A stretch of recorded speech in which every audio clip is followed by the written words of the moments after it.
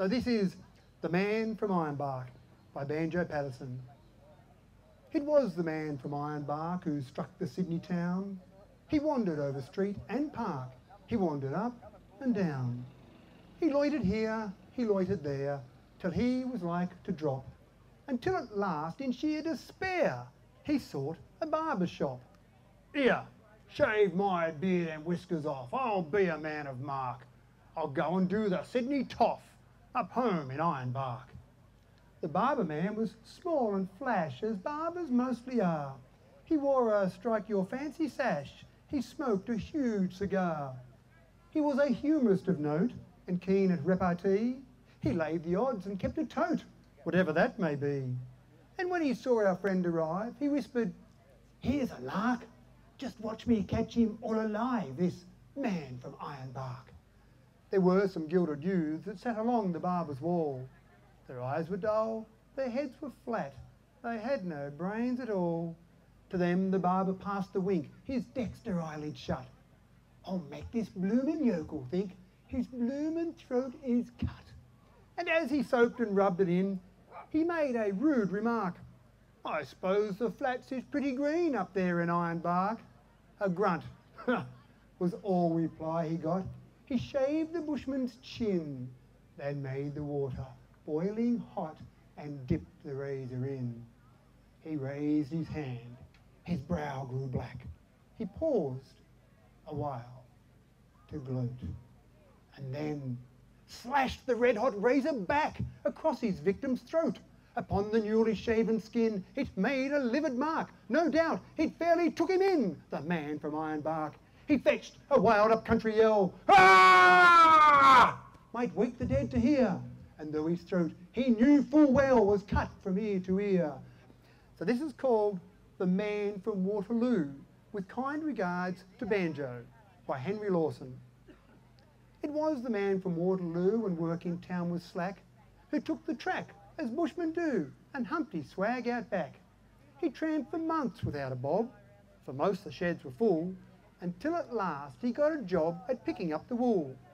He found the work was rather rough, but swore to see it through, for he was made of sterling stuff, the man from Waterloo. The first remark was like a stab that fell his ear upon. 'Twas, there's another something scab the boss has taken on. They couldn't let the townie be. They sneered like anything. They'd mock him when he'd sound the G in words that end in ing. There came a man from Ironbark, and at the shed he shore. He scoffed his victuals like a shark, and like a fiend he swore. He'd shorn his flowing beard that day, he'd found it hard to reap, because 'twas hot and in the way while he was shearing sheep. His loaded fork in grimy holt was poised, his jaws moved fast, impatient till his throat could bolt, the mouthful taken last. He couldn't stand a something toff, much less a jackaroo, and swore to take the trimmings off the man from Waterloo. So this particular poem is called After You it's written by Peter Blythe. The sun was hot already. It was barely eight o'clock. The cocky took off in his ute to go and check his stock.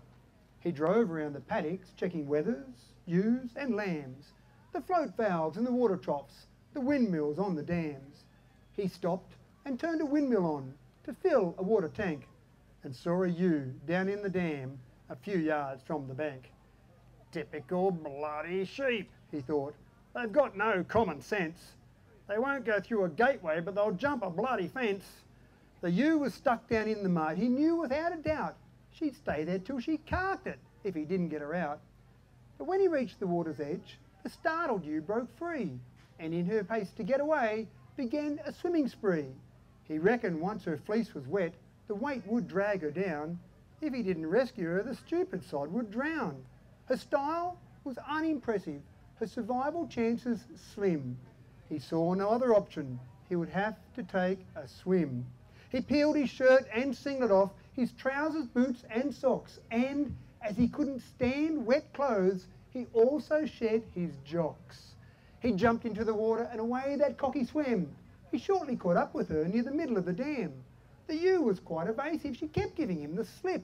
He tried to grab her sodden fleece but couldn't get a grip. At last, he got her to the bank and stopped to catch his breath. She showed him little gratitude for saving her from death. She took off like a Bondi tram around the other side. He swore next time he caught that ewe, he'd hang her bloody hide. So this poem is called Who's Doing the Dishes? and it's written by me. We have a medical mystery that has stumped our family physician. Our children all seem to be afflicted with this recurring condition. We have tried different foods as recommended by a dietitian and consulted a French professor, the world's leading paediatrician. But still, no one can solve the mystery of what happens after we eat. Our children seem quite normal until we mention that dinner's not complete until the dishwasher's packed, the table's wiped, and the kitchen is all done. That is the moment when this strange sickness overcomes every single one. The disorder takes a number of forms and changes every single night, which is why I'm guessing it is so hard to solve our unhappy plight. The first symptom is predictable. Someone's busting to go to the loo, although they never seem quite sure if they need to do a wee or a poo. One daughter says, I need more food to satisfy my growing appetite. Surely, as good parents, we wouldn't want her to be hungry through the night. Our youngest daughter falls asleep at the table. To help digest her food, we dare not risk waking her and experiencing her sleep-deprived mood.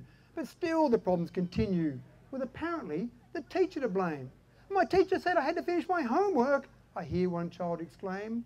Sweaty armpits is the next culprit as I hear another call, shower!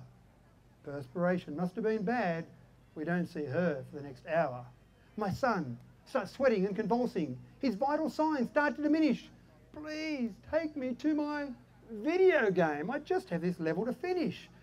Well, that takes care of the most common symptoms, but still they come up with others. My daughter wants to upload a selfie so her friends can show their brothers. My favourite TV show is on. I wouldn't dare think of missing it. Next, a disaster to manage, the emergence of a big zit. A glass of milk helps my growing bones. I need to take the dogs for a run. I've heard that it is important for kids to relax and have some fun. They're being quite creative, with more excuses than a politician. The kitchen is now deserted. They vanish faster than a magician. This scene is repeated every night. I wonder how my wife will cope. First, one legitimate excuse has now led us down this slippery slope. I wonder how this developed. Is it learned or is it genetic? I think we need more research on this. Well, maybe I'm just being pathetic. At least my husband will help, says my wife. Otherwise, I'll be here all night. Um, I'll be back in a minute. I promise I just have this poem to write.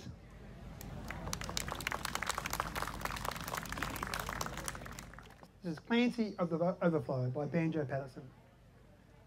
I had written him a letter which I had, for want of better knowledge, sent to where I met him down the Lachlan years ago. He was shearing when I knew him, so I sent the letter to him, just on spec, addressed as follows Clancy of the Overflow. And an answer came directed in a writing unexpected, and I think the same was written with a thumbnail dipped in tar. 'Twas his shearing mate who wrote it, and verbatim I will quote it. Clancy's gone to Queensland droving, and we don't know where he are. In my wild, erratic fancy, visions come to me of Clancy gone a droving down the Cooper where the western drovers go. As the stock are slowly stringing, Clancy rides behind them, singing, for the drover's life has pleasures that the townsfolk never know. And the bush hath friend to meet him, and their kindly voices greet him, and the murmur of the breezes, and the river on its bars, and he sees the vision splendid, the sunlit plains extended, and at night the wondrous glory of the everlasting stars. Ah, I am sitting in my dingy little office, where a stingy ray of sunlight struggles feebly down between the houses tall. Um, tomorrow's smartphone user by me. I have myself a new smartphone. It does most everything. The device has features that would be fit for any king. I can instant message, email, text and SMS. I could probably do them all at the same time, I guess. I can browse the internet, see all the latest news, use a tracking device to check on my pet kangaroos. I can download an app to do anything I want. View my heart rate, my banking, or the weather in Vermont. I can open up Facebook, Flickr, MySpace and Bebo. These names would mean nothing only a few short years ago. I can play my best music with a flick of the touchscreen while taking photos and uploading my favourite scene. I was using it one day when I heard a strange ring ring. Never before had I heard this. It was such a strange thing. In some confusion, I looked at my email and apps. Was this some new feature I wasn't aware of, perhaps? I bumped a green button. Then I heard a familiar sound. It was a voice I knew too well, a woman well renowned. How could I possibly hear it? Where was it coming from? I looked for the answer on wikipedia.com. So this is called Mulga Bill's Bicycle by Banjo Paterson. 'Twas Mulga Bill from Eaglehawk that caught the cycling craze. He turned away the good old horse that served him many days. He dressed himself in cycling clothes, resplendent to be seen. He hurried off to town and bought a shining new machine. And as he wheeled it through the door with air of lordly pride, the grinning shop assistant said, Excuse me, can you ride? See here, young man, said Mulga Bill, from Walgett to the sea, from Conroy's Gap to Castlereagh, there's none can ride like me. I'm good all round at everything, as everybody knows, although I'm not the one to talk. I hate a man that blows. But riding is my special gift, my chiefest sole delight. Just ask a wild duck, can it swim? A wildcat, can it fight? There's nothing clothed in hide or hair, or built of flesh or steel. There's nothing walks, or jumps, or runs on axle, hoof, or wheel. But what I'll sit, while hide will hold and girths and straps are tight, I'll ride this here, two-wheeled concern, right straight away at sight. But thank you for coming along. Thank you for uh, enjoying some poetry. Hopefully you enjoyed some poetry there. It's great to see banjo still alive 120 years later. Thank you very much.